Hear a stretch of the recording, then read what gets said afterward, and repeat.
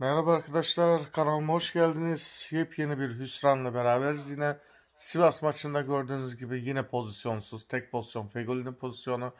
Hiçbir şey yok maçta. Hangi oyuncunun ne yaptığı hiç belli değil. O kadar ortalar açılıyor ama ortada hiç oyuncumuz yok. Yani bu adam ya da hocamız niye 4-4-2 oynamaz?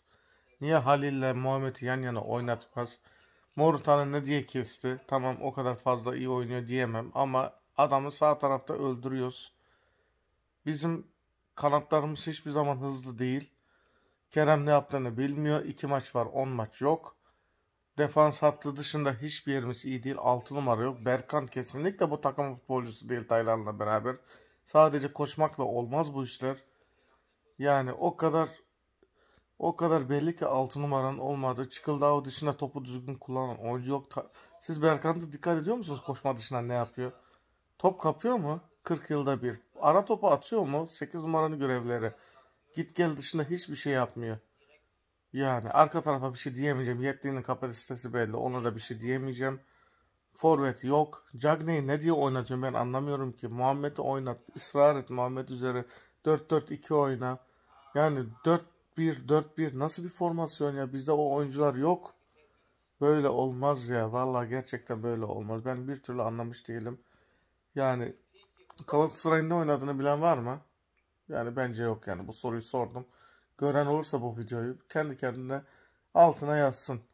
Oynadığını bilen var mı? Senelerdir.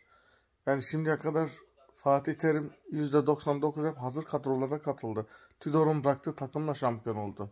Yani Tudor bile Snyder'ı gönderme dışında hiçbir hatası yoktu adamın. Aldığı bütün futbol bir de Latovic sol bekte galiba. Onun dışında yaptığı bütün transferler tuttu. Adamın aldığı bütün oyuncular iyiydi. Adam iyi de gidiyordu. Fatih Terim geldi. Hazır kaymağa oturdu.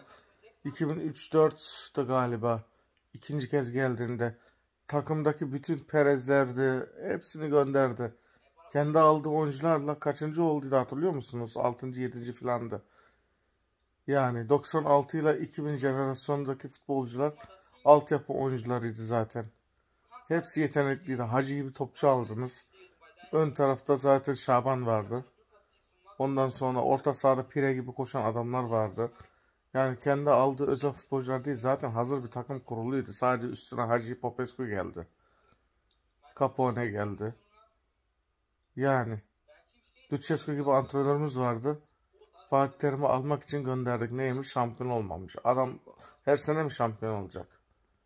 Yani bu Sivas maçında gerçekten hiçbir dakika pozisyon görmedim ben. Arkaya top çevirmekten başka hiçbir şey yapmadık. Yani gecenin bu saatinde size video çekmek istedim. Gözlerim zaten küçülmüş uykusuzluktan. Birazdan uyuyacağım zaten ben de. Avrupa'da da bu arada biz iyi oynamıyoruz. Arkadaşlar kendimizi kandırmayalım geriye çekilip küçük takımlar gibi mesela Sivas'ın bugün yaptığı gibi geriye çekilip beklemek. Biz böyle bir takım mıydık arkadaşlar? Biz böyle bir takım değildik.